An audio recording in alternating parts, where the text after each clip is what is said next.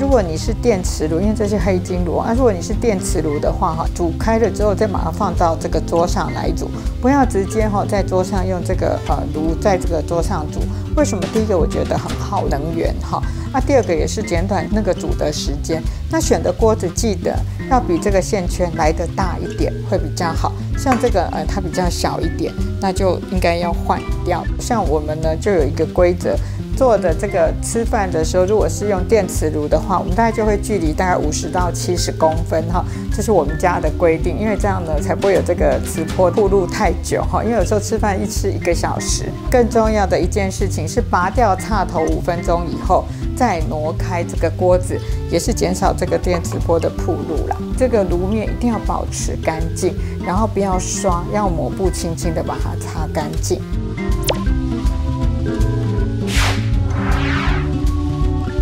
因为我我想冬天到的时候，很多民众都想要吃一些比较软和的火锅，这样子哇，这样比较有饱足感，而且感觉比较舒服。加热的原理是通过电磁感应加热，目前没有任何的研究证明说使用电磁炉会对人体的健康会有影响。加热范围有那个磁波都是在浅浅地方，是我们用比较大锅子把它盖住也会比较理想。还是建议说，诶，我们在使用时候保持在五十公分以上的安全距离。